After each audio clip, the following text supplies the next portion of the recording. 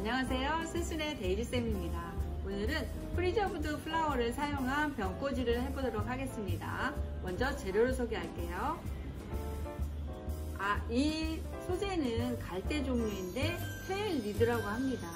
이 소재, 어, 이 소재를 이렇게 쓰다듬으면 굉장히 부드러운 촉감을 느낄 수가 있어요. 그리고 어, 새 깃털을 만지는 것 같기도 하고 애완을 쓰다듬는 것 같은 그런 촉감의 아, 소재입니다. 자, 간지럽혀 드릴게요. 어때요? 간지러우시죠? 자, 그 다음에 아, 소재는 그라데이션한 아, 핑크 색감이 도는 그런 안개를 사용해 보도록 하겠습니다. 자, 이 소재는 유칼립투스라는 소재인데요. 이 소재의 어, 향이 어, 보존이 그대로 남아 있어요. 그래서 이렇게 잎을 우리가 줄기나 잎을 어, 손으로 문지르고 그 다음에 그곳에 이렇게 코를 갖다 대면은 향이 굉장히 진하게 느껴져요.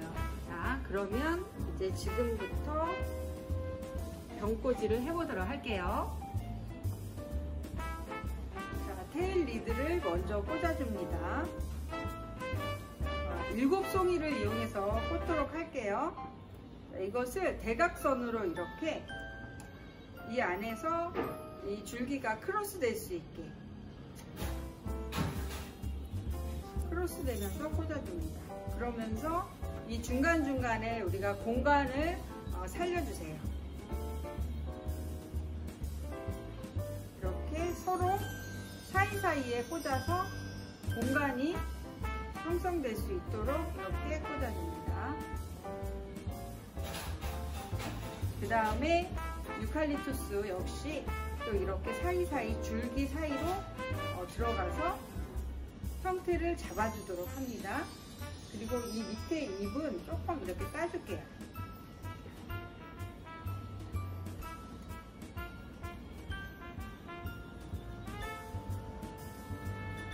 테일 리드 사이로 들어가게 꽂아주세요.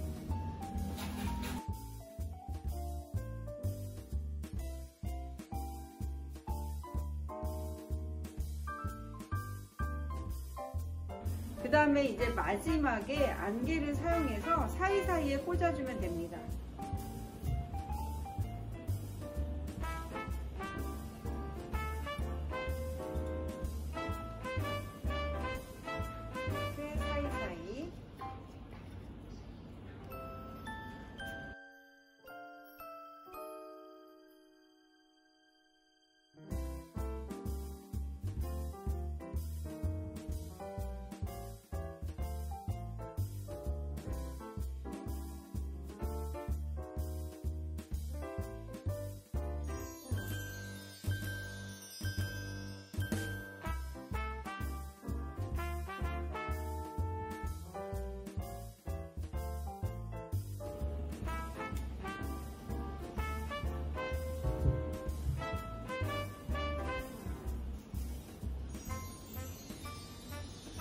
이제 완성되었어요.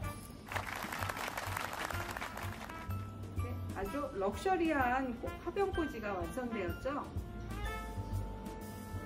네, 여기까지였습니다. 감사합니다. 다음 시간에 뵐게요. 샬롬.